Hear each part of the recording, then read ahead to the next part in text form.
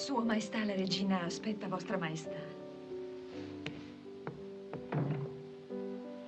Chiedo scusa per avervi fatta svegliare a quest'ora, ma si tratta di qualcosa che dovevo comunicarvi immediatamente.